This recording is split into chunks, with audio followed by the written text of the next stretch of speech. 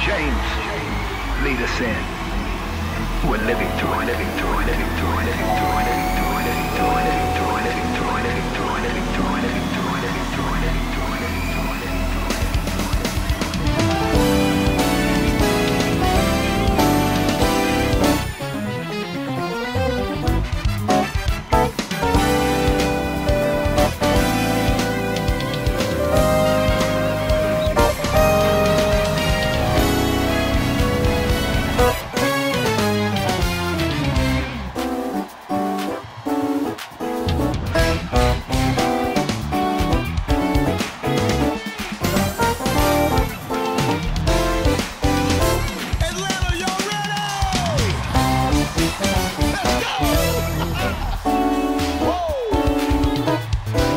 Thank you.